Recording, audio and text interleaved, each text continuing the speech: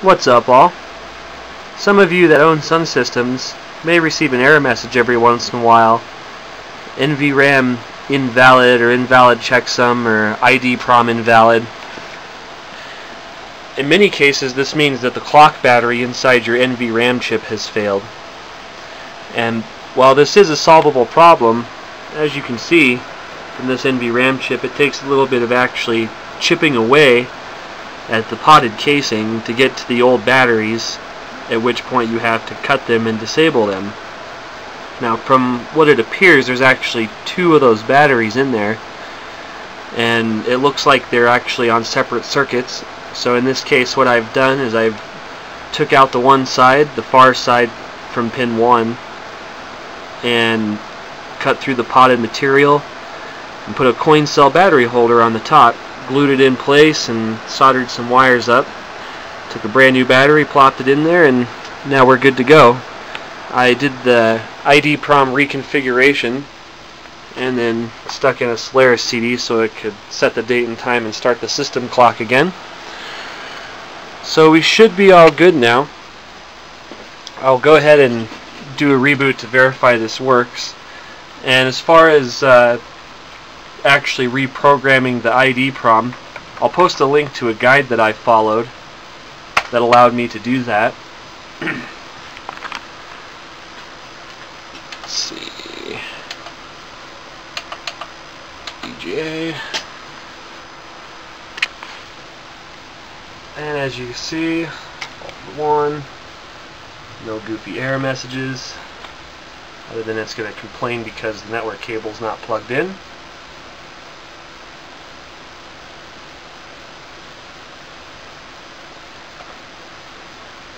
We'll do a stop A, do a little ID prom check here.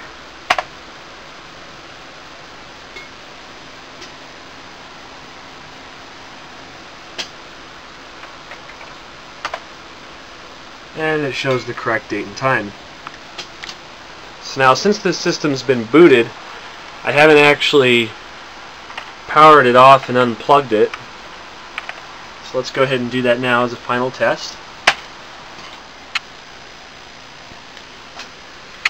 Now we're off, I'm actually just going to go ahead and unplug the machine from here and then hit the power button a couple of times. You can see that I actually discharged the capacitors inside the power supply. So now the system has no power left over in it whatsoever. Only the clock battery that we replaced should be holding the ID-PROM contents. So now let's plug it back in.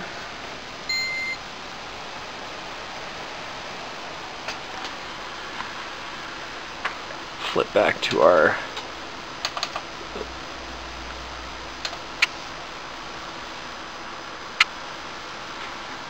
and here we are. I don't see an immediate invalid ID prom or checksum or anything like that so seems like we're doing okay.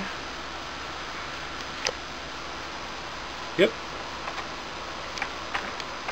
And we'll do a boot CD-ROM here to show that it does go to my CD.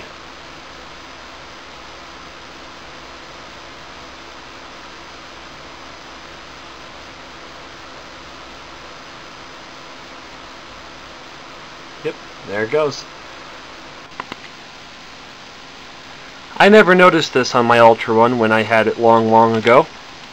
But when I was running this machine just for the few short minutes that it took me to reprogram the ID-PROM, I noticed that this section of integrated circuits here got really hot.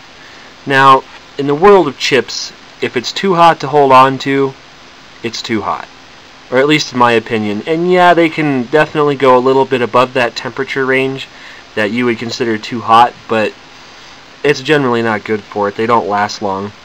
So if you have one of these machines in your collection, I definitely advise putting some heat sinks on these, this area right here.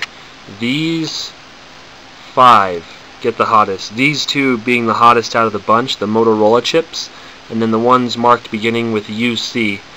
And this uh, FPGA or whatever that is hiding back there also gets pretty hot, but not as hot as these little ones here in this group. So Just a quick tip, keep it cool. So if you have any questions, feel free to leave me a comment, doogielabs at gmail.com, or visit my website, www.doogielabs.com. Until next time, take it easy.